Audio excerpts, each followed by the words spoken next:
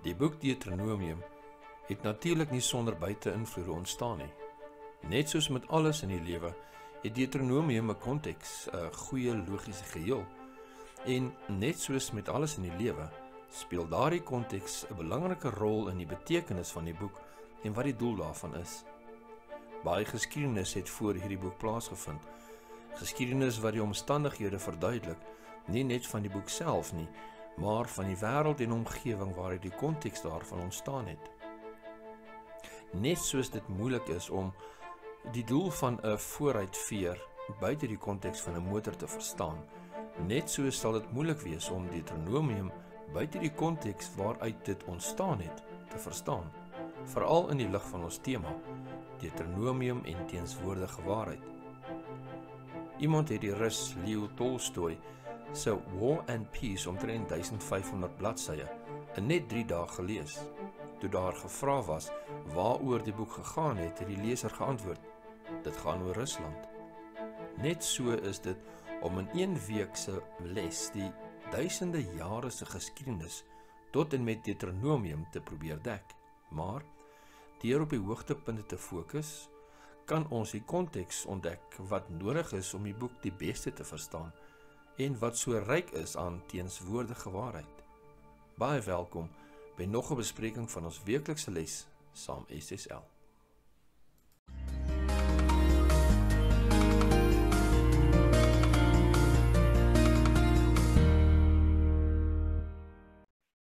Hi, weer welkom by ons weeklikse bespreking van ons les saam met SSL.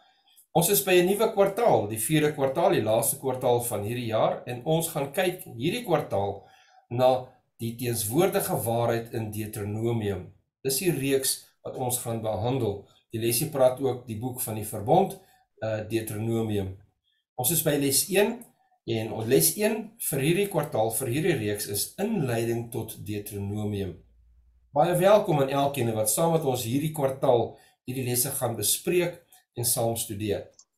Vir les 1, inleiding tot Deuteronomium, vind ons ons geheeteks in 1 Johannes 4 vers 8.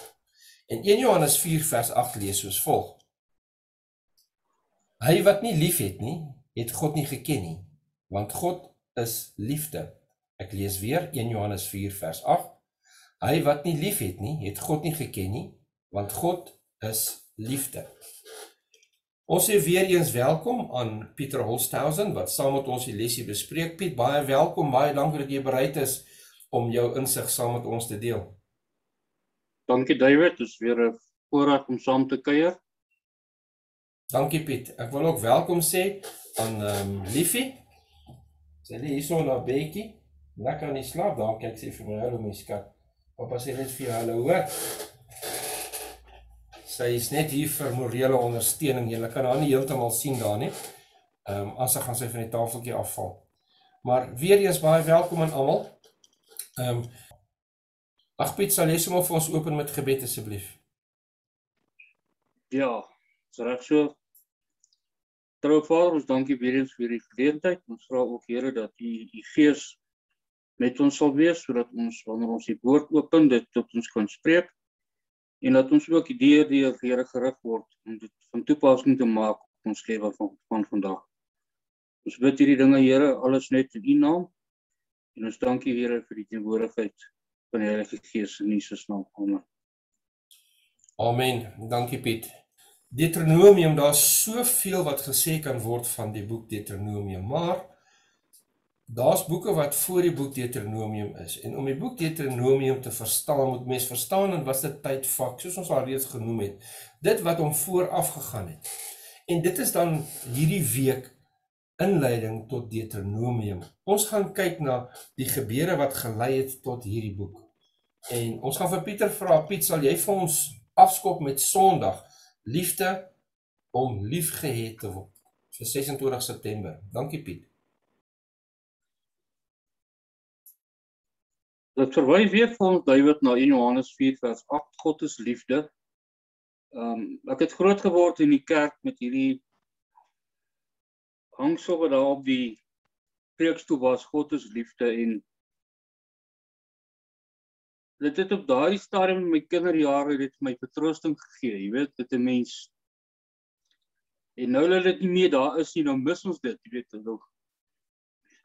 Sien ons dit nie meer raak nie, maar die groot ding is wat dit vir ons hier sê.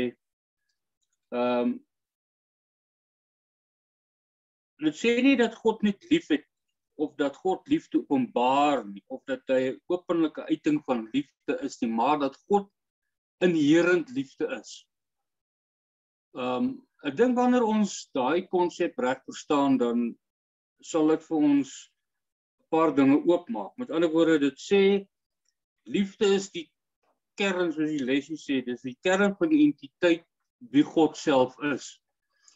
Nou ons moet ons moet besef dat om die terme van God se liefde ten volle te verstaan, ehm uh, gaan ons nie heeltemal op hierdie aarde kan kan kan kan verwerk nie. Ons kan dit nie begryp want wanneer ons dan nou kyk na hoekom wat dit sê God is liefde wat soos Johannes 3:16 sê want God het so die mense liefgehad dat hy almal daarby wou insluit. Sy seun het vir almal gesterf. Nou as ons hoekom ek hoekom ons so sy vir almal gesterf want as ons gaan kyk na uh van die begin af. Uh ons kyk ook da dit wat gebeur het as ons later gaan sien dit uh dit kom ook in ons lesie voor van van Satan wat hierdie hoogmoed gehad het. Dan besef 'n mens dat God het uit liefde het God hom toegelaat om te doen wat gedoen moes word. Want as God gehaat het, as God iemand gesê het God is haat, of God is uh wraks gierig of God uh is is God sonder belangstelling dan sou dit God se karakter dit wat God is um heeltemal verkeerd voorgestel het. Nou die die die lesie sê vir ons hier um in die waarheid oor God se liefde help ons om die gedagte te verstaan dat God se bewind en hoe hy regeer sy liefde weerspieël. Dit sê liefde deurdring die kosmos dalk meer as wat swaartekragte doen. God het ons lief en ons moet hom terug lief hê. Nou God het die mens geskape en die engele geskape met 'n vrye wil om te kies. En soos ons alreeds weet, ehm um, hierdie vrye keuse, met ander woorde God het 'n risiko aangegaan dat hy mense geskep het wat hom uit eie keuse uit nie gaan lief hê.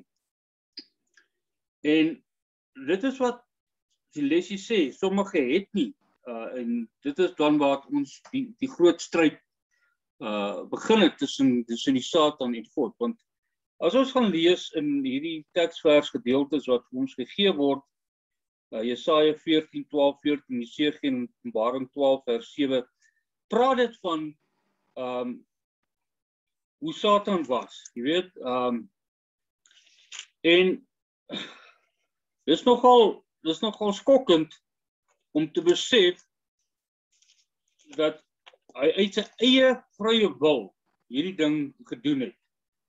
Nou, ek wil net vanaand lees uh, die hooftrekke in Jesaja 14:12 tot 14. Dit sê dan vir ons En hoe het jy die hemel gevul, o môrester, seun van die daarraad? Hoe lê jy die aarde neergeslaan, oorweldiger van die nasies? En nou kom die kruks van die saak. Jy het jou hart gesê ek wil opklim in my in die hemel, my troon verhef bo die sterre van God en sit op die berg van samekoms in die uithoeke van die noorde. Hy was nie tevrede nie. Alhoewel hy hierdie hierdie uh, verhewe posisie gehad het. Ehm um, en as ons gaan lees daarvan Jesegiel wat sê en Openbaring wat sê ook van hoe hy was. Ehm um, hy tussen die vier stene gewandel. Met ander woorde, hy was op 'n baie hoë vlak gewees in die regering van van van die godheid. Maar dit het dit het ongelukkig hoogmoed dit veroorsaak dat hy hierdie wanstap begaan het. En ons weet ehm um, wat daar gebeur het. Hy het sy vryheid verloor as gevolg van ongehoorsaamheid. Nou ek het ek het hier aantekening gemaak is ek het gesê vryheid is gehoorsaam is gelyk aan gehoorsaamheid. En en dan het ek hier gesit ons eie wil op ons eie ek is gelyk aan ongehoorsaam. En dit is belangrik om die lesie sê vir ons Lucifer wat 'n volmaakte wese was, wat deur 'n volmaakte God geskape was, sonde is hom gevind. En dit was nie omdat hy met daardie eh, gemeenskap in eerste plek geskape was nie. In plaas daarvan deurdat hy met die vermoë om lief te hê geskape was, het Lucifer egter morele vryheid gehad en in weerwil van alles wat hy ontvang het. Wou hierdie engel meer gehad het. En dit sê dan een ding het gelei na die ander en daar was oorlog in die hemel. So ja, weer eens kom ons net terug na ehm um, wat sien ons as vryheid? Ons het elke mens het vryheid. Uh die gedeelte wat vir ons gesê word in Deuteronomium mee te begin is dat ons die wil van God moet doen. En as ons die wil van God doen, dan gee dit ons vryheid. En as ons dit nie doen nie, dan as ons ongehoorsaamheid dan verloor ons hierdie vryheid, dan is ons onder die onder die juk van van Satan. So ja, dit is ehm uh, die onder die lesie uh daai swart gedrukte gedeelte die vraag wat daar gevra word dit se praat hier van ehm um, ons kan enige uh, robot koop wat 'n mens gehoorsaam maar die vraag is dit uh sou hierdie betekenis of verhouding met, met hierdie tipe hond kon hê en dan sê dit Julia al help jou antwoord om te verstaan waarom God wesens wou gehad het wat hom waarlik kon liefhê Ehm um, die mens was geskaap om God se liefde te weerspieël. En sodra daai konnotasie gebreek was, het ongelukkig nie gebeur. Dankie David. Ida. Dankie Piet. Dankie. Ja, dit is nogal 'n baie belangrike vraag wat gevra word hierso op die einde. Hmm. En ehm um, Dit is 'n vraag wat ek wat wat ek graag wil vra van ons kykers en ons luisteraars um, om saam met ons hierdie vrae te beantwoord. Hierso is 'n kommentaar gedeelte hier onder op ons YouTube bladsy, ook op ons eh, Facebook waar die les geplaas word waar u ook kommentaar kan lewer. Gesels saam met ons asseblief met hierdie lessies. Ons vra ook vir diegene wat uh die YouTube blad ehm um, hierdie uh, uh besprekings kyk dat u sal by ons aansluit deur die uh uh, uh aansluit knoppie te druk en dan ook die duimsop knoppie. En ehm um, vir diegene wat voel dat hulle baat vind hierby, ehm um, die besonderhede is ook hier onder as u graag 'n finansiële bydrae wil dra. My broers en susters, ons hoor graag van julle in die kommentaar gedeelte hieronder gesels saam met ons. Baie dankie Piet. uh, Maandag vir 27 September is die sondeval en die vloed. Die sondeval en die vloed. Nou baie van ons het al gehoor van hierdie man wat onder 'n boom gesit het en 'n appel het op sy kop geval. Ehm um, en nie almal weet miskien wie daarvan gepraat word nie, maar hierso is nou gepraat van Newton. Ehm um, hy was 'n wetenskaplike gewees en ehm um, daar word gesê dat hierdie appel het op sy kop geval en toe ontdek hy swaartekrag. Wat natuurlik nou nie waar is nie. En of 'n nou regte appel op sy kop geval het of nie, weet ons nie. En ons weet wel dat hy die voorbeeld gebruik het. Ehm um, Maar baie mense het geweet van swaartekrag. Elkeen wat die aarde baie hard ontmoet het, het geweet, hoor hierso daar so ietsie so swaartekrag. Maar wat hy ontdek het is en dis nou die voorbeeld wat die lesie gebruik om 'n punt oor te dra. En die voorbeeld is op Maandag hoekom hulle hier praat van Newton. Newton het besef en vir die mense bewys uh uh dat die wette wat hier op die aarde uh uh uh uh um, van krag is is dieselfde wette wat ook in die hemel in die buitenste ruim in krag is. Dat dieselfde swaartekrag wat hierso ons ervaar op die aarde is dieselfde swaartekrag wat die maan daar in die ruimte hou om om sy wentelbaan laat beweeg, die aarde om die son beweeg en die res van die planete. En die mense het nie geglo en nie geweet daai tyd dat dieselfde natuurwette en dis natuurlik waarvan ek gepraat het hierso, dieselfde natuurwette wat op aarde 'n rol speel. Ook dieselfde natuurwette is wat in die heelal in die hemel, in die hemelse ruim, dit speel daai presies dieselfde wette dieselfde rolle. En dan word die vergelyking nou gemaak met natuurlik nou die hemelse, die geestelike aspek. Die lesie sê dan hierso, dieselfde ingebore vryheid om lief te hê wat tot Lucifer se val in die hemel gelei het, het ook tot die mens se sondeval op die aarde gelei. So dit wat in die hemel gebeur het, wat gelei het tot sy val, is dieselfde wat gebeur het op die aarde wat gelei het tot die mense val. En wat was dit geweest? Dit sê dat dieselfde ingebore wat vryheid om lief te hê. Daai vrye keuse. Dit het gemaak dat hy tot 'n val kan kom. En dieselfde ook hier op die aarde, die mense vrye keuse om lief te hê, om God te dien, nie uit dwang uit nie, soos wat hy vraag nou vir ons daarbo gevra het of daaronder gevra het by 'n uh, 'n uh, um, aan die einde van van Sondag. Het hulle 'n vrye keuse gehad om te sê ja, ons wil God gehoorsaam wees of nie ons wil nie. Maar die vraag is watter bewys het ons dat hulle wel hierdie vryheid gehad het om te sê ja of nee? Want die die, die bewyse kry ons in Genesis 2 vers 16 en 17 onder andere, want daarson lees ons en die Here God het aan die mens bevel gegee en gesê van al die bome van die tuin mag jy vry eet, maar van die boom van die kennis van goed en kwaad, daarvan mag jy nie eet nie, want die dag as jy daarvan eet, sal jy sekerlik sterwe. En dan in Genesis 3 vers 1 tot 7, wat lees ons daar? Maar die slang was listiger as al die diere van die veld wat die Here God gemaak het en hy sê vir die vrou, is dit ook so dat God gesê het jy mag nie eet van die bome van die tuin nie en die vrou antwoord die slang van die vrugte van die bome van die tuin mag ons eet, maar van die vrugte van die boom wat in die middel van die tuin is, het God gesê jy mag daarvan nie eet nie. Dit nie aanroer nie anders sal jy sterwe. En soos dit ons die res van die verhaal ken, dis hierdie duiwel die, die, die slang haar, julle sal gewis nie sterwe nie, maar God is bang dat julle soos hy sal wees deur goed en kwaad te ken. Julle sal God word. Ehm, um, toe sien die vrou dat die boom goed was en neem daarvan en Adam het ook daarvan geëet en die mense het besef o, jene ons ons is kaal en sonde het ingetree. En hierdie is die bewys dat hulle vryheid gehad het van keuse. Dat hulle nie geskape was net om God te dien nie die feit dat die boom daar was in die eerste plek en die feit dat hulle die keuse gemaak het om teen God te kies was juis die bewys gewees dat hulle 'n vryheid gehad het om self te kies.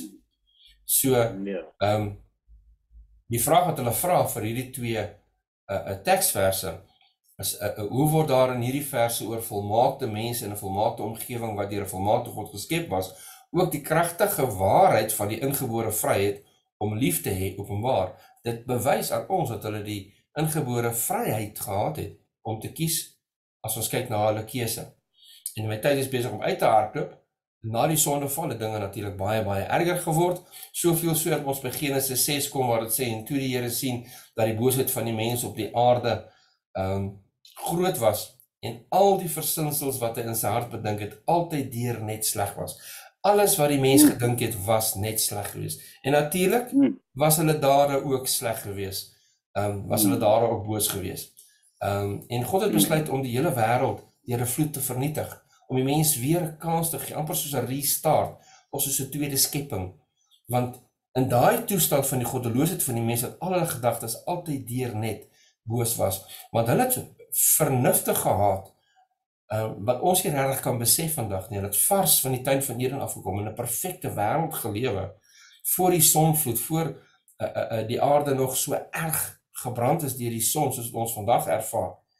Um en het hulle al daai magte en daai vermoëns gebruik tot oneer van God om sonde te doen. Hmm. Word dit gesê dit kan nie so aangaan nie. Dan moet 'n reset wees en die Here het basies soos 'n tweede skepping het hy gemaak as ons dit sou eens kan noem. Maar ons het gesien met die toring van Babel dat die mens tog altyd daarop uit was om teen God te gaan.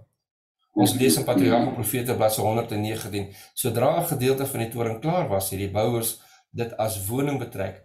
Ander 'n uh, 'n pragtige versierde en gemeubileerde vertrek is aan hulle afgode gewy.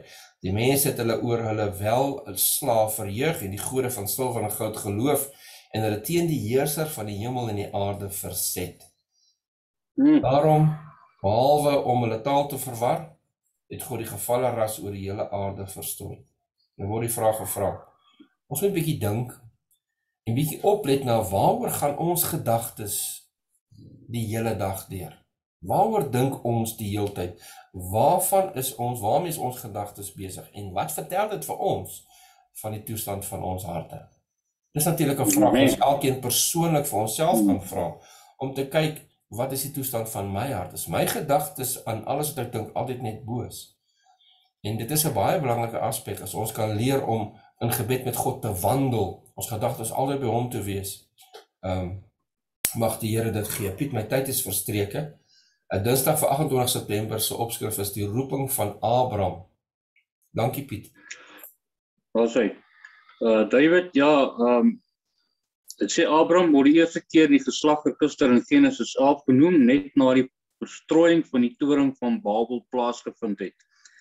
Ehm um, Genesis 12 1 tot 3 uh vra net waar God vir Abraham geroep het. Ons weet Abraham is geroep uh, uit Gil Ur van die Galdeers en ehm um, as ons verstaan dit was die omstandighede waar dit uitgeroep was ook maar uh, was 'n wederstrewige volk. Dit was 'n goddelose volk gewees maar hy was geroep gewees en die Here het hom gesê hy moet God hy moet trek. Hy, hy het ook gebeet presies waarheen nie maar die Here het hom gesê weet uh, om te trek nou.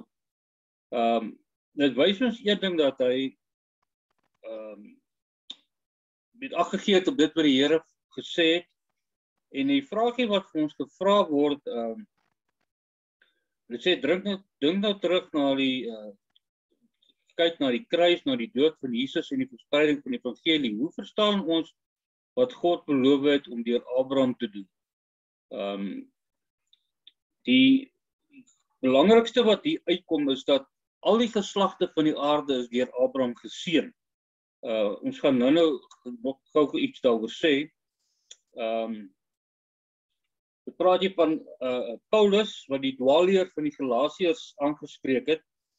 Um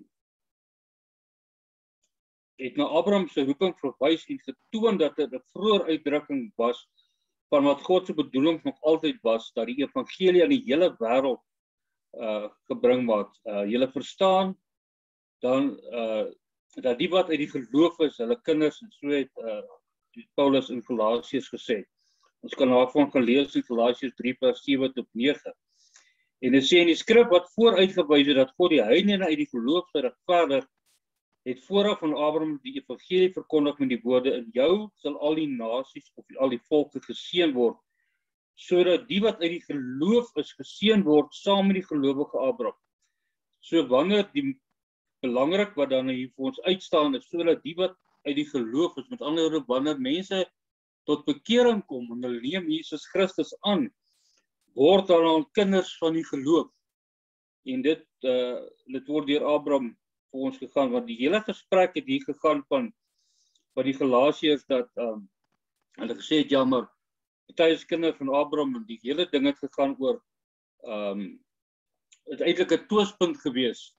En ons weet dat Jesus ook vir hulle uh, Paulus ook vir hier op 'n stadium met hulle praat en gesê dat ehm um, weet voor Paul voor voor Abraham was hy daar en dit het die disippels ag die uh Fariseërs nog baie kwaader gemaak. Ehm um, maar wat ek graag by uitkom is hierso is dat ehm um, na Abraham uh as ons gaan kyk na die die roeping van of die uh roeping van van van Moses Want wat was belangrik ten opsigte van die roeping van Moses? Nou snaaks genoeg om in Handelinge te lees van Moses. Ehm uh, en uh dit is nogal die woorde van van van Stefanus. En uh baie belangrik as ons hier gaan lees uh daar in vers 20, dit sê ons moet lees van vers uh, 20 tot 36, maar ek gaan net bietjie uh hoogtepunte aanhaal hier. Uh in die tyd is Moses gebore en hy was wonderbaarlik mooi 3 maande lank in sy en sy huis van sy vader versorg. En toe hy weggegooi is, hy was eintlik nie weggegooi nie, maar ons ken die verhaal, het Farao se dogter hom opgeneem en hom as haar seun groot gemaak. En dan vers 22 Moses is opgelei en al die wysheid van die Egiptenaars was magtig in woorde en dade en sê nadat hy die ouderdom van 40 jaar bereik het, het hy sy hart opgekom om sy broers, die kinders van Israel te besoek. En ons weet wat daar gebeur het, hy daar gestap en hy het toe nou gesien dat een van die uh, Israeliete onreg aangedoen was deur 'n deur 'n Egiptenaar en hy het hom gewreek deur hierdie Egiptenaar uh, te verslaan. Ehm um, en in vers 25 en hy het gedink dat sy broers het verstaan dat God hulle deur die sy hand redding sou gee, maar hulle het dit nie verstaan nie.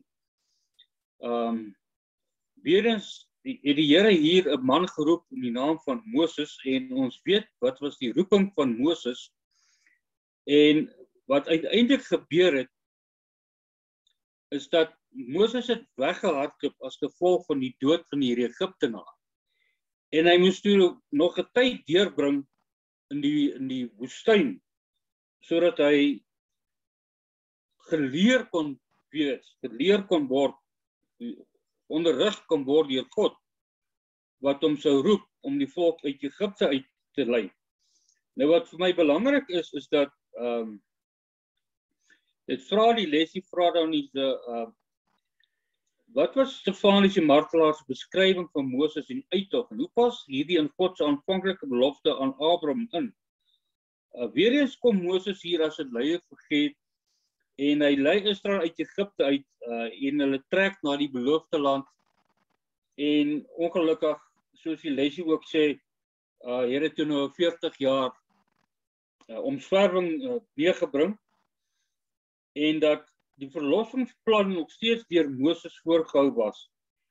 Ehm um, en dan ons gaan nou nou kyk uh, wat was die uiteinde gewees van hierdie ontrouheid van die volk Ehm um, onder aan die bladsy uh wil ek dit vir ons lees. Hy wou nie ken hy wou nie net kennis van die waarheid deur hulle bewaar het nie. Dit is God nou self. Dit wil sê kennis oor hom Jahwe en die verlossingsplan, maar hy ook daardie kennis oor die hele wêreld versprei het. So ja, en dan onder vrae of vraagie vra hoe sien ons as adventiste onsself vandag met betrekking tot die res van die wêreld? Dit wil sê Watter ooreenkomste bestaan daar tussen ons en destyds Israel? Wat meer belangrik is, watter verantwoordelikhede of verantwoordelikheid plaas hierdie ooreenkomste op elkeen van ons? Ja, die verantwoordelikheid bly nog steeds dieselfde. David nog steeds uh hierdie boodskap van die verlossingsplan oor die hele wêreld uh versprei want in 2028 sê vir ons die groot kommissie sê vir ons met hierdie evangelie pad tot uit die uithoeke van die wêreld. So dit is nog steeds ons verantwoordelikheid vandag ook. So ons kan nie terug staan en sê hoorie nee, maar ons ons ons het nie 'n werk om te doen. So dis net so belangrik vandag om die evangelie uit te dra. Amen. Baie dankie Piet. En hierdie vraag hier onder by Dinsdag ehm um, word ook gevra. Vra ons om daarna kyk en na, by Vrydag, is een van Vrydag se vrae. Dat ons 'n bietjie meer ja. daaroor gesels ook. Baie baie dankie Piet. Ehm um, Kom ons kyk na Woensdag, 29 eh, September, die verbond by Sinaï. Nou as ons nou moet dink dit wat alles gebeur het voor die berg Sinaï. Ehm um, dit alles wat hulle gesien het, die die pla wat geval het. Ehm um, die die die bloed aan die deurposte, uh die sterfte van die eerstgeborene, al daai groot wonders wat die Here aan hulle gewys het wat hulle moes gesien het toe hulle by die uh, skelfsee kom en en en die Egiptenare is is op pad om hulle te vernietig en hierdie wolk wat hier tussen hulle en tussen die Egiptenare iewes skielik is aan hulle kant is dit lig aan die Egiptenare se kant is dit donker 'n uh, 'n uh, uh, onweerswolk hmm. en hoe die God die die die die die see oopmaak die skelfsee oopmaak hoe hulle deur droë grond gaan en al die wonders wat die Here vir gedoen het die brood wat uit die, uit die hemel uit laat neerdaal het uh uh uh um die die manna. En dan sê dit vir ons hierso by uh um Eksodus 19 vers 4 sê die Here dan vir hulle, julle het self gesien. Nou Eksodus 19 is net voor Eksodus 20. Eksodus 20 is waar God nou met hulle praat en die 10 gebooie vir hulle gee van hierdie berg af, né? Berg Sinaï. Hy sê julle het self gesien wat ek aan die Egiptenaars gedoen het en dat ek julle op arensvlerke gedra en julle na my toe gebring het. Eksodus 19 vers 4. Ehm um, en dan kom Moses nou en en, en Moses praat met hulle en skryf die boek Deuteronomium. Nou die boek die, die, die boek Deuteronomium interessant genoeg is geskryf in dieselfde jaar en dieselfde tyd uh uh uh wat hulle die beloofde land wel ingegaan het na die 40 jaar. 40 jaar na hierdie gebeur het word die boek Deuteronomium geskryf. Word hierdie boodskap aan Moses gegee, Moses skryf dit neer en hy lees nou hierdie boek. Vertel hulle wat die inhoud van hierdie boek is van die boek Deuteronomium wat God vir hom gegee het en hy sê vir hulle nou, julle moet nou onthou wat met julle voorouers gebeur het. Um al hierdie wonders wat gebeur het. En dan sê hy vir hulle in hoofstuk 4 vers 34 of het 'n God probeer om vir hom 'n nasie uit 'n ander nasie te gaan neem deur versoekinge, um, deur tekens of wonders of deur oorlog en deur 'n sterkte hand en 'n uitgestrekte arm en deur groot skrikwekkende dade soos die Here jou God met julle uh voor uh, jou oë in die uh in die in, in Egipte gedoen het. So wat hy basies hier vir hulle sê, het julle ooit gehoor dat daar 'n God is wat deur sulke magtige wonders 'n volk gekies het, 'n volk uitgered het, 'n volk gelei het, 'n volk gevoed het. Het julle ooit so ietsie gehoor? So hy probeer nee. hulle oordra. Julle God is 'n werklike God. Het julle al ooit gehoor hierdie dinge dat dit met enige ander nasie gebeur het, hierdie groot wonders? Ehm um, maar die vraag is dan nou, hoekom het God hulle uitgeroep? Net sodat daar 'n nasie kan wees wat kan God kan sê, ehm um, julle is nou my eiendom? Is dit alwaaroor dit gaan? Kyk wat sê Eksodus 19 vers 4 tot 8 vir ons. En dit is nou ehm um, nie Deuteronomium is Eksodus. Ehm um, hier is waar God nou self met die nasie praat deur Moses. Hy sê: "Julle het self gesien wat ek aan die Egiptenaars gedoen het en dat ek julle op arensvlerke gedra en julle na my toe gebring het. As julle dan nou terdee na my stem luister en my verbond hou, sal julle my eiendom uit al die volke wees, want die hele aarde is myne. En luister nou. En julle sal van my 'n koninkryk van priesters en 'n heilige nasie wees. Dit is die woorde wat jy aan die kinders van Israel moet meedeel. En Moses het gekom en die oudste van die volk laat roep en hulle al hierdie woorde voorgehou wat die Here aan hom bevel het. Toe antwoord die hele volk eenparig en sê alles uh wat die Here gespreek het sal ons doen en Moses het die woorde van die volk aan die Here oorgebring. So sien ons dat God sê hulle gaan die eiensdom volk van God wees. En dit is die ding wat by hulle vasgesteek het en dis die ding waarna hulle self blind gestaar het. Want hierdie afstammelinge van Abraham, Isak en Jakob, hulle was uitgeroep gewees. En hmm. hierdie afstammeling van hulle was daar 'n verbond mee gesluit gewees deur God dat hulle sy eiendomsvolk uit al die volke uit sal wees. En hulle het gedink, sien ons is spesiaal. God ons gekies want ons is baie oulik, ons is baie spesiaal en hulle begin verwaand raak en hulle het gedink dat hulle 'n ingebore heiligheid en regverdigheid wat in hulle self gehad het. Dis hoekom God hulle geroep het. Hulle het dit heeltemal verkeerd verstaan. Hoekom hulle uitgeroep het? Ja. Hulle was uitgeroep gewees vir 'n spesifieke taak en die taak vind ons dan baie duidelik in die gedeelte ons gelees het. Hy sê en julle sal vir my 'n koninkryk van priesters en 'n heilige nasie wees. Nou wat doen priesters? Hulle verkondig die deugde van God. Hulle moes die koninkryk van God verkondig het. Uh, hulle moes dit na die wêreld toe gevat het en dit uitgebrei na die wêreld toe. Maar hulle het dit gemis. Nou word hier 'n vraag gevra hier onder by Woensdag. Dit sê want toe elke gebod, dis nou ek gaan nou Hebreërs 9 vers 19 en 20 lees, want toe elke gebod volgens die wet deur Moses aan die hele volk aangekondig is, het hy die bloed geneem en die boek self en die hele volk besprinkel en gesê dit is die bloed van die testament wat God met die oog op julle verorden het. So wat dit sê so is, hy het die bloed geneem van hierdie offer en hy het die boek, daai boek Deuteronomium. Hy daai boek het hy uh besprinkel met bloed. En hy het ook die volk besprinkel met bloed. Nou dit was nou hierdie nageslag wat na die 40 jaar oorgebly het. Daar was net jong mense gewees. Daar was nie ou mense nie. Die enigste ou mense was Moses, ehm um, Joshua en Caleb. Al die ander het gesterf in die woestyn. En hier kom Moses in die boek Deuteronomium en hy herinner hulle aan wat gebeur het en hy sê vir hulle nou gaan julle die beloofde land ingaan. Maak seker julle volg hierdie verordeninge. En dan besprinkel hy die boek en ook die hele volk met bloed. Dan word die volgende vraag gevra. Ehm um, Wat was deur die bloed voorgestel en waarom is dit selfs vandag nog vir ons belangrik? Wat was deur daai bloed voorgestel gewees?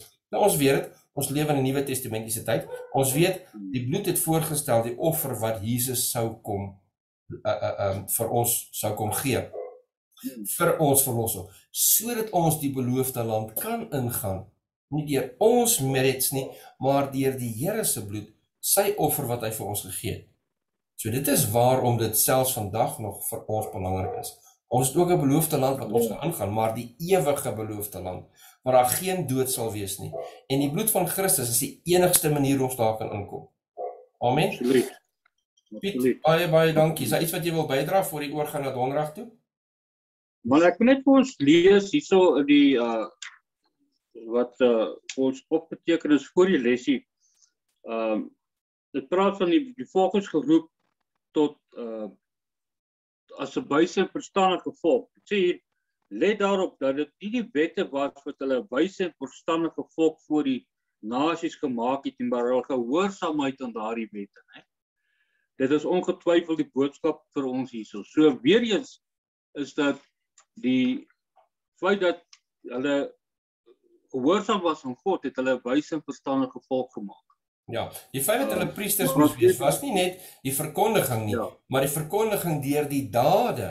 Dan sou hulle sê ja. hierdie is 'n verstandige nasie, want die dinge wat hulle doen, nie die dinge wat hulle verkondig nie, want iemand wat ja. nie wys is nie kan jy baie maklik identifiseer, hulle verkondig 'n ding maar hulle doen dit nie self nie. Maar die feit dat hulle dit ja. sou doen en wat die resultate daarvan sou wees. Baie goeie punt. Baie dankie Piet. Dankie vir daai ene. OK, ja, donderdag September. Dankie Piet afvalligheid en vergelding. Nou ja. Nou die volk kom hier en het al reeds gelees in vers 8. Alles wat die Here gespreek het, sal ons doen. En Moses het die woorde van die volk aan die Here oorgebring. En toe Moses die Here nou weer vir Moses te sê, kyk ek sal in 'n dik wolk na jou toe kom dat die wolk kan dat die volk kan hoor as ek met jou spreek en hulle ook vir altyd na jou kan glo want Moses het die woorde van die volk aan die Here meegedeel. Ek glo die Here het hierdie woorde van die volk gehoor. Die Here is alomteenwoordig en hy het gehoor, maar Moses was die middelaar gewees. En hy het gegaan en gesê die Here, die volk sê hulle sal doen wat wat wat wat wat hy wat hy sê. Ehm um, maar die geskiedenis ongelukkig bewys dat uh keer op keer is hierdie woorde weer lê. Ehm um, ons weet dat Moses sommer met die uh toe nog die opgegaan het na die berg om die Here te gemoed te gaan vir die 10 gebooie. Toe hy terugkom, toe het die klop sommer al klaar goue kalf wat hulle aanbid, hulle dans en gaan te kere daarom. So hierdie woorde van hulle het lank gehou. En Dit sê vir ons uh die vraag wat vir ons gevra het, wat was vir Israel die belangrikste gedeelte van die verbond? Want die Here kom met 'n verbond en hy sê vir ek wil wat met julle doen. Hy sê en dat hy sê julle het gesien wat ek aan die Egiptenaars gedoen het en dat julle op Aronsberg gedra en julle na my toe gebring het. Die Here het hulle daar op droë grond laat loop. Dit verwys hier na op Aronsberg gedra en dat hy hulle na hom toe gebring het. Hy wou hulle uitred want hy was hulle was sy volk. Want hulle was God se eiendom. Maar ongelukkig weer soos die lesie ook sê, ehm um, ek vir ons hierdie so lees uh die vereiste om God te gehoorsaam om sy wette onderhou was geensins wetty sy toe nie en ook nie nou nie. So wat belangrik is is dat Wanneer ons sê dat ons die woord van God sal doen en alles, doen ons, ons ons dan word ons verbind tot alles wat God vir ons sê om te doen. Dan kan die mense nie omdraai en sê maar ons is nou wetties. Want die wet was gegee daar vir die volk om te sê Here, maar ons sal doen wat U vra. Nou die probleem van vandag is ook dat mense baie maklik is om te sê ja Here, ons sal so doen of ons sal sis doen. En baie keer kom die mens tot die Here en dan kom die mens tot 'n punt en ekskuus, dit is iets wat nou nie in die lesie voorkom nie, maar dis iets wat net vir my opgekom het is dat baie mense kom by 'n by 'n by 'n kruispunt in hulle lewe. En hulle sê Here, as U vir my dit en dit doen, dan sal ek dit en dit vir U doen, jy weet. En baie keer kom die Here daai gebed, daai versoek kom die Here te na en hy gee vir daai mense wat hulle vra, maar hou die mense hulle belofte aan die Here? Dis maar net 'n persoonlike ding wat ek ook hier wil inbring en dan ehm um, mense julle moet maar self antwoord op daai met ons ons doen dit. Ons as mens doen dit. Ehm um, dit praat hier weliswaar wat reeds vroeg al terwyl nog by die berg was. Ons praat nou van van van as ons verder van lees van hierdie kalf was het hulle afgedwaal. En dit sê ongelukkig skyn dit dat ontrouheid meer die reël as die uitsondering was en daarom in plaas daarvan dat hulle die beloofde land sou binnegaan het hulle vir 40 jaar in die woestyn rondgesterf rondgeswerf. Nou ja. Dit is wild en ek wil vra vir ons hier 'n nummerie van lees. Ehm um, Ek net sien ek dink ek het hom gemerk hierso ja. Nummerie 14 Ek gaan weer eens nie die hele ding lees nie. Ehm um, vers 28 uh want in vers 27 uh vra die Here die bemering van die kinders van Israel toe.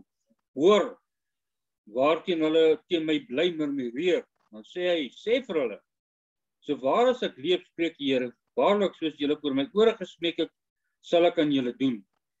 Nou Julle lyke sal in hierdie woestyn lê, naamlik al die gesteldes, geteldes volgens julle getal van 20 jaar oud en daarbo, julle wat teen my gemurmureer het.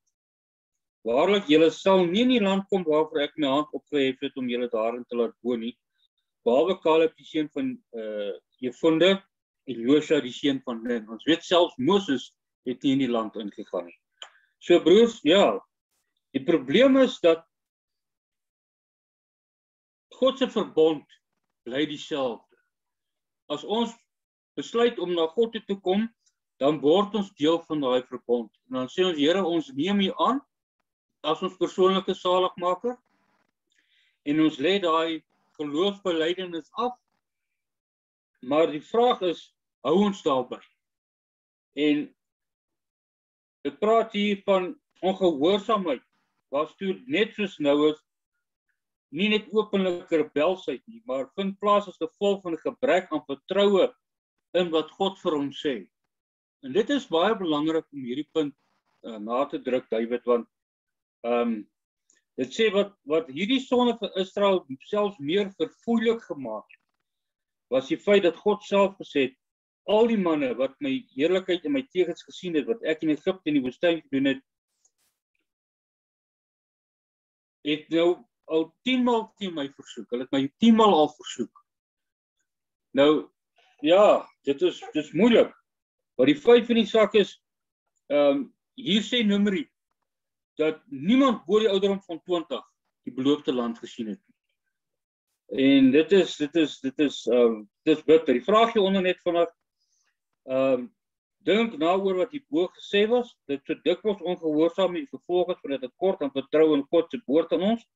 En dan weer eens persoonlik, hoekom is dit waar en hoe kan ons dit inderdaad vra om God meer te vertrou? Hoe kan ons leer om God meer te vertrou? Ons kan God alleenlik meer leer om hom meer te vertrou as ons meer kennis van God kan opdoen. En dit is dit is dan waar ek vol, vol staan, David. Baie dankie Piet. Ja, dit is baie baie waar. Ehm um, luisteraars, kykers asseblief, ehm um, ons wil baie graag u gedagtes ook hoor in sake al hierdie vrae wat gevra word en die les. Baie dankie Piet. Vrydag vir 1 Oktober 'n verdere studie en vrae vir bespreking. Ehm um, die lesie sê iets interessants hier so aan die begin en ek wil dit graag vir ons lees. Dit sê vir 'n dieper en baie uh goed deurgaande studie van die groot stryd uh tema wat op die idee van God se liefdevolle uh, liefdevolle gegrond is en deur 'n 70 Adventis geskrywe is, lees John Peckham se uh Theo Theodicy of Love, Cosmic Conflict and the Problem of Evil. Hulle vra ons moet daai boek gaan opsoek en hom bietjie gaan lees. Um hulle sê die feit dat hierdie geskrewe stuk deur 'n nie-adventis drukkery gepubliseer was, dui aan hoe goeie Bybelse insig die werklikheid van die groot stryd kan openbaar soos dit in die skrif uitgebeeld word. So dis interessant, dis 'n adventiste skrywer Hy skryf oor die groot stryd en dit is uh 'n nie adventiste drukkery wat wat dit vir hom gepubliseer het. Um en hulle sal dit nie publiseer as hulle nie daarvan hou nie. So dis baie goeie boek. Um hier's 'n aanhaling uit 'n uh, 'n uh, uh, um uit een van sy boeke, uh, uit daai spesifieke boek, uh bladsy 4 sê kortom, ek redeneer dat God se liefde, soos dit was 'n uh, werklik is, die sentrale punt van 'n kosmiese geskil is en dat God se toegewydheid aan liefde en 'n voldoende etiese rede is waarom God boosheid toelaat saam met die betekenisvolle netwerk van goddelike voorsienigheid wat binne soos wat dit uh soos wat ek dit noem verbondsbepalinge funksioneer. So wat hy basies sê daarso is die feit dat God toelaat dat daar boosheid is is juis 'n bewys van God se se liefde. God se omgee en dat die dit die sentrale ehm um, strydpunt is in hierdie kosmiese konflik. Ehm um, God se liefde. Amen. Baie interessante gedagte daai. Deel asseblief julle gedagtes met ons. 'n Patriarg gaan presies kan ek aansluit.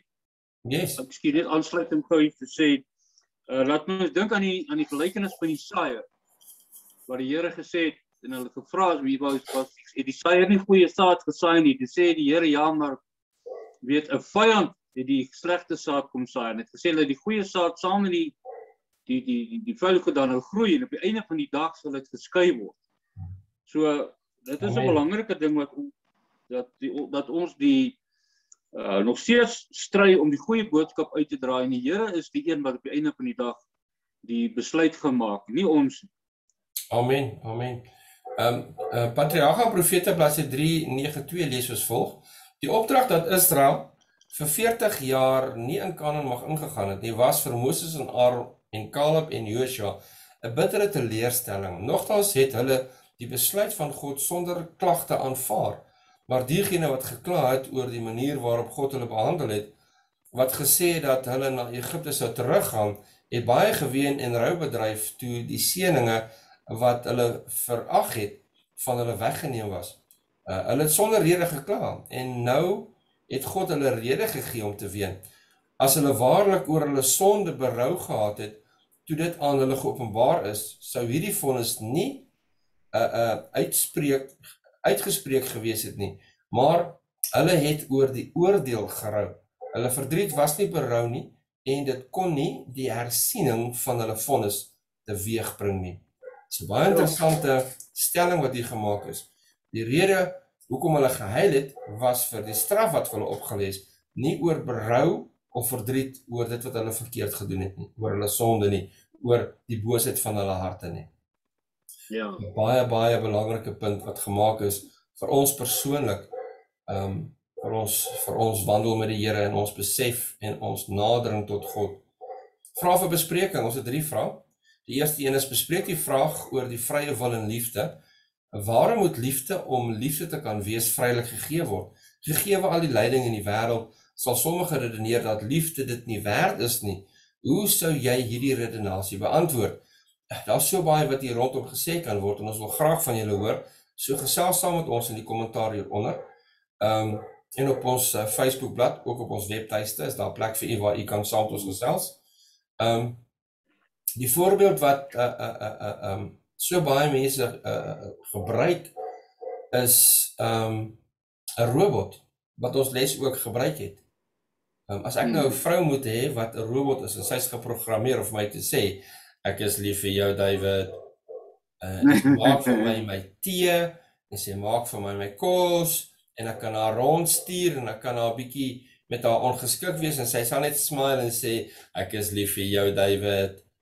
Ehm um, ek dink nie mense sal lank hou nie, nê. Die feit dat my vrou vir my lief is, ten spyte van my, ehm uh, maak dit jy so spesiaal, nê. Die feit dat sy 'n vrye keuse het om my lief te hê, ehm um, maak dit spesiaal. Hy sê sy lief vir my, regtig. En om ook vir haar lief te wees, is natuurlik nie moeilik nie. Ehm um, maar ook om lief vir haar te wees, dat dit 'n vrye keuse is.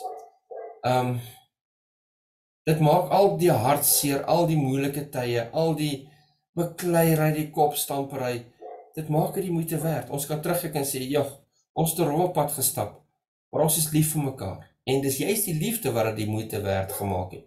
En uh, dinge, daar's dinge wat gebeur vandag, ek verstaan met baie mense, miskien met u wat luister of wat kyk, wat 'n mens dink is dit die moeite werd om deur hierdie dinge te gaan. Ek weet dit is moeilik. En ek weet dit is moeiliker as wat 'n mens ooit kan besef as jy nie self in 'n situasie is nie. En ons elkeen se situasie is uniek. Maar onthou, die woorde van die Here waar die woord vir ons sê, dit wat ons verstande nie eens kan dink nie wat die Here vir ons voorhou. Dat dit wat ons nou doen, ja. wanneer ons in ewigheid kom, gaan ons terugkyk en sê dit was die moeite werd. En die Here se liefde, as ons gaan fokus op wat hy vir ons gedoen het op die kruis, sal ons besef dit was die moeite werd. As dit so 'n groot offer moet kos, hoe groot gaan die beloning nie wees nie. Piet, iets wat jy wil sê voor ek na die tweede vraag toe gaan? Jy weet daar's 'n Engelse sê ding wat sê if you really love something, set it free. If it comes back to you, it's yours. If it doesn't, it never was. Hmm. Okay. So okay. ons kan ons kan baie daarby leer, né? Amen. Baie dankie Piet. Die tweede vraag met gehoorsaamheid so sentraal in die hele Bybel. Wat is wettiesheid? Watter faktore hmm. kan in 'n poging om getrou aan God en sy woord en sy gebooie te wees, 'n stryk vir wetties wettiesheid wees? En dit is baie waar broers en susters. Um ons as Sewenige Adventiste kan baie maklik in die struik trap van die Jode. Want hulle het geglo dat hulle gehoorsaamheid aan die wet hulle in guns bring by God en daarom is hulle 'n spesiale volk. Daarom het God hulle uitgekies want hulle is so 'n gehoorsame volk. As ons kyk na die geskiedenis, hoe ongehoorsaam hulle tog eintlik was oh, en God se ja. genade tog so groot op hulle was. 70 maal 7 jaar, né? Nee? Um interessant, dit wys ook na die profesie. In Daniël 9 en wat Jesus gesê het toe gevra is hoeveel keer my broer vergewe 70 maal 7 keer. Ehm um, interessant al daai getalle was so ooreenstem oor vergifnis en die Here het vir sy volk ook tyd gegee, soveel jaar tyd gegee voordat hy hulle eers afgesny het as as die priesterdom. Nou gaan dit na almal toe. Ja. ja, ja. Maar die vraag is hierso, ehm um, hoe moet ons pas op? Jesus se woorde in Johannes uh uh uh 14 of is, ek reg onthou? Johannes 14, hmm. ja. As jy my liefhet, bewaar my gebooie selfs in die 10 gebooie ehm um, praat die Here van die wat sy gebooie hou en hom liefhet. Ehm um, dis ja. wat dit is. Dit moenie wees om probeer goed wees vir die Here en ons kan nie goed wees vir die Here nie. Maar omdat ons lief is vir hom, omdat ons lief is vir sy manier, sy verordeninge, ons stem daarmee saam. Dis vir ons goeie verordeninge. Ons is lief vir daai verordeninge, maar dit is die karakter van God. En ons wil dit graag nastreef want ons is lief vir hom. Kyk wat so groot offer het hy vir ons gedoen. As ons net altyd die kruis en dit wat die Here vir ons gedoen het, dit wat die Vader vir ons opgeoffer het voor oog hou, sal wettiesheid nooit in ons kan vaskleef nie. Ons sal altyd weet so groot offer vir 'n sondaar soos ek. Hoe nader ek aan Jesus kom, hoe meer besef ek my werke is soos vuil klere. Piet, iets wat jy wil noem daaroor? Here, ja. Die Here het self gekom en uit hierdie wettiesheid van die van die Fariseërs en die Sadduseërs en het hy aangespreek. Ja. En gesê julle maak julle maak julle maak die onderhouding van die wet baie moeilik. Want hulle oor die 300 en iets wette gehad wat jy nie mag doen nie. Hmm. En daai tipe van ding en dit het ehm um, hulle dit ek bedoel hulle tot tiende gegee van hulle kruisement en dit was ry en daai hulle was so presies maar soos die Afrikaanse spreekwoord sê dat die baba met die badwater uitgegooi weet so hulle die hulle die hulle die prinsip van die saak heeltemal verkeerd verstaan. En uh ongelukkig is daar baie mense wat vandag dalk nog so kan wees. Ehm um, maar ons vra ook, jy weet, wanneer ons wanneer ons met mense te doen kry ehm um, wat self ons as wetties uh soort probeer afmaak of ons uh stigma aan dit probeer koppel. Herinner hulle net daaraan wat die Here gekom het en hy het vir vir die vir die Jode gesê maar julle julle verstaan nie die ding so lekker nie. Weet julle maak dinge net moeilik vir julleself. So Dankie Pieter. Baie dankie. Vraag 3 sê, bespreek in die kas die vraag wat aan die einde van Dinsdag se studie gevra was met betrekking tot die ooreenkomste tussen destydse Israel en die 70 Adventiste Kerk. Wat is daardie ooreenkomste en waarom behoort ons daaroor besorg te wees? Nou, ek gaan hom nou lees wat Dinsdag se vraag was. Hoe sien ons as 70 Adventiste onsself vandag met betrekking tot die res van die wêreld? Onthou hoe hierdie volk hulle self gesien. Hulle het gesien, o, ons is oulik, ons is heilig, ons is hierdie spesiale mense, ons is bo die res van die wêreld. Hulle is heidene, hulle is sleg, hulle is honde. Nou word jy gevra, hoe sien ons as Sewenige Adventiste onsself vandag met betrekking tot die res van die wêreld? Dit wil sê, watter ooreenkomste bestaan daar tussen ons en destydse Israel? Wat meer belangrik is, watter verantwoordelikheid plaas hierdie ooreenkomste op elkeen van ons? Nou hmm. ons is 'n spesiale boodskap gegee as Sewenige Adventiste om na die wêreld toe te vat. Daar's gelowiges soos die Jehovah getuies wat sê net Jehovah getuies gaan hemel toe. Ek wil net vir die wat nie Adventiste is nie. Broers, susters, dis nie wat die Sewenige Adventiste kerk preek nie. Inteendeel, ons boeke sê dat die meerderheid van die mense wat eindig op die einde van die dag die ewigheid gaan beerwe, is nie Sewenige Adventiste nie. Ehm um, dis nie jou kerk denominasie nie. Maar ons is gekies om 'n spesiale boodskap na die wêreld toe te vat. 'n Laaste dag waarheid boodskap, soos wat Noag 'n spesiale boodskap gehad het. Nie omdat ons oulik is, maar omdat God genadig is en hy ons gekies het nie as denominasie nie, maar almal wat die Here aanneem om liefhet en sy gebooie wil gehoorsaam en vir hom wil verkondig dat ons hierdie priesters vir God sal wees. Die ooreenkoms is ons is geroep om priesters om 'n heilige nasie vir God te wees. Om wat te doen? Om te dink ons is oulik? Nee. Om hierdie waarhede, hierdie uh juwele wat God vir ons gegee het en hierdie verkondiging van die liefde van die Here aan die wêreld oor te dra en die mense te waarsku oor die laaste dag gebeure, hoe die duiwel die mensdom graag wil mislei.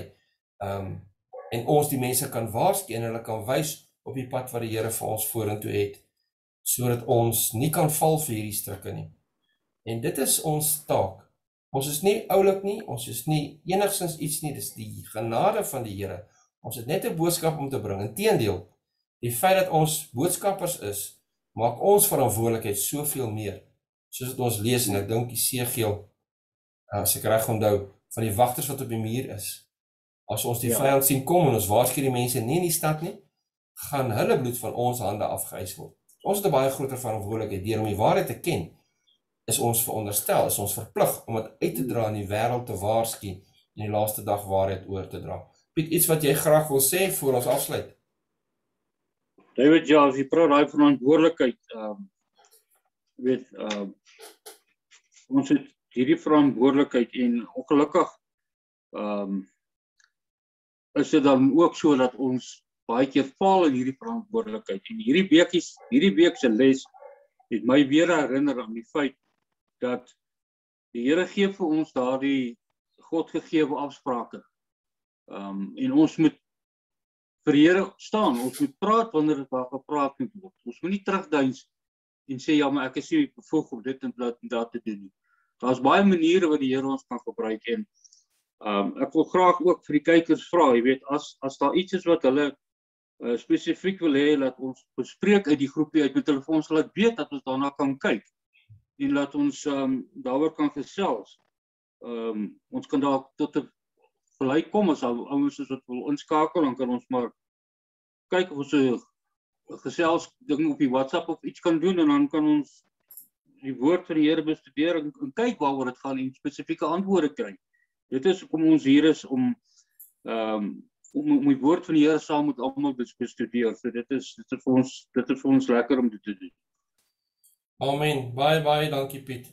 Ehm um, Voordat ons afsluit met gebed, wil ek graag vra. Hierso is 'n uh, versoeker gewees op ons webtuiste sabbatskoolles.weebly.com. Ehm um, was hier's 'n uh, gebedsversoeke gewees. Ehm um, die die die uh vandag uh, is mos die 30ste was daar gebedsversoek gewees. Die 29ste en weer die 29ste van hierdie maand. Ehm um, die 24ste van Augustus. Ehm um, en ek wil dit graag lees. Die een is van Annetjie van Delen. Bid asseblief vir my man, hulle vergalse lewe en hy kan nie bedank want waar kry 'n mens ander werk? Groot asseblief. So ek wil vra dat ons asseblief broers en susters saam sal bid vir Annetjie van Delen se man sy werksomstandighede van Delen van van Delen ja. Dan Janet Hatting vra ehm um, bid asseblief vir my. Ek kan nie meer nie. Ehm um, bid asseblief ernstig vir ons suster Anna van Delen uh, bid asseblief vir my seun.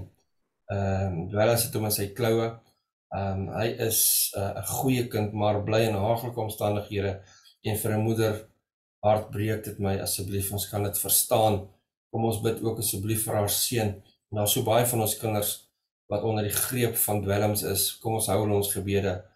En dan asseblief hmm. mense bid saam met dis nou Japie uh Pfizer Pfizer. Ehm um, asseblief mense bid saam my vir Sandrey. Sy was ruk terug in 'n baie ernstige motorongeluk en is baie beter, maar asseblief bid saam my sy's 21. So asseblief moet oh, dit as, as ons vir hierdie mense kan bid. Daar's baie ander gebedsversoeke, gaan kyk gerus daarna wanneer jy op ons webtuiste gaan sabbatskoolies.weebly.com. Uh Weebly is W E E B L Y. Dan sal u sien daarso is sulke blokkies. Hierdie week se les is is El paneel op YouTube ensovoorts en dan sal jy sien een van hulle is gebedsversoeke. Gaan soontoe plaas ook die gebedsversoeke daar dat ons vir u kan bid en ons vir mekaar kan bid. Die Bybel sê mos Amen. Ehm um, bid vir mekaar dat jy gesond kan word.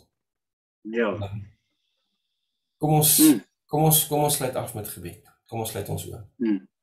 Hemelse Vader, U het hierdie versoeke gehoor. Kan U nou elke naam individueel onthou nie, maar Here, U ken elke situasie. Here, daar's ook ander versoeke. Vader, ons harte lê bloot voor U oop. Daar's niks wat weggesteek kan word van U nie. U ken ons swakhede. Hemelse Vader, U ken ons bekommernisse. Here, U U ken die donkerste plekke wat ons probeer wegsteek vir ander mense. Here, U weet hoe ons smag vir ons kinders en ons harte breek vir hulle. Hemelse Vader, vir geliefdes wat in wat siek is, wat in ongelukke was. Hemelse Vader, hierdie wêreld is so boos en ons kan net kom en hulle voor u voete neerlê. En u bid Vader hmm. asseblief, u wat die God van hemel en aarde is. Here, u wat gespreek het en dit is. U wat die almagtige God is. Here, ons vertrou hulle in u hande. En ons sê vir u dankie Vader dat u in elkeen van hierdie sake dat u krag magtig sal wees en u liefde en u krag en u goedheid daarin geopenbaar sal word.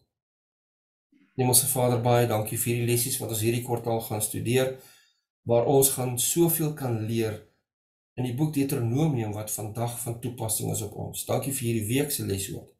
En terwyl ons dan hierdie nuwe week die les gaan studeer, mag die Gees in ons spreek. Here berei ons voor vir daai beloofde land wat Here ons wil huis toe gaan. Ons dankie hmm. Vader in Jesus se naam. Amen. Amen. Ou Pieter, jy kan vir die mense totsiens sê. Geseënde Sabbat vir almal, David, jou jou gesin ook. En uh ja, tot volgende keer dan. Totsiens. Tot volgende week. God se ryke seën.